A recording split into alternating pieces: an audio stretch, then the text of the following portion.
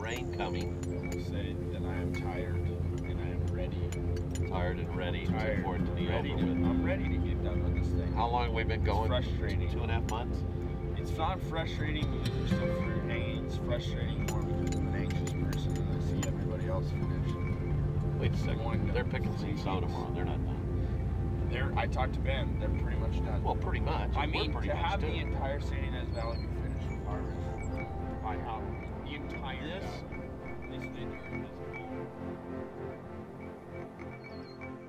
I think being here my whole life is something that's pretty special. I, sometimes I used to think that I could give it up and, and walk away, but as I get older, eh, it's, it's a lot more sentimental. My dad bought this ranch in the early 50s, this whole valley was nothing but barbed wire and thistles. I mean, there was nothing here. It was just oak trees. It just went forever. Decided to plant some grapes in 1995, 96 with the object in mind that we would sell to my friends that are in the business making wine. And Brooke is the one that decided we should maybe make a barrel of Merlot and a barrel of Syrah. I mean, 20 years from what Brooke and I started, it's, uh, who would have thunk it? I mean, really.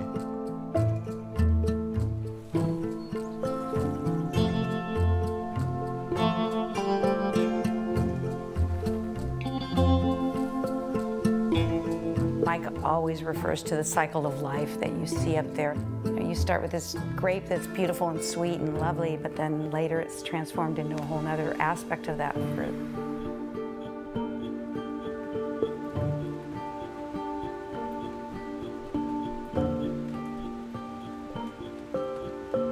I think in the beginning we never thought that it would build into what we have now.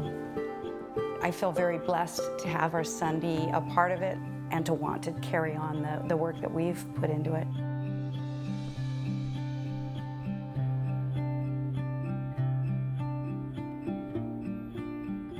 The reason that I really like this business and being here on this property is because, I mean, there is, call it a legacy, I guess.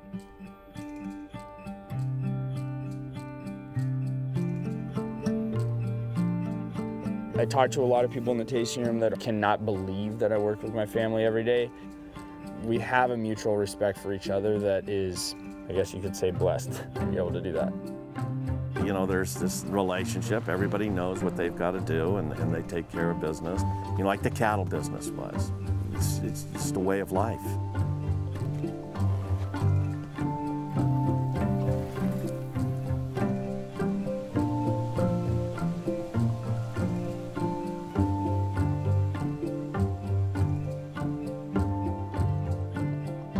I think when you're growing anything and having to deal with Mother Nature, it is a form of magic. Harvest is like my Super Bowl. I'm up here at 4 a.m.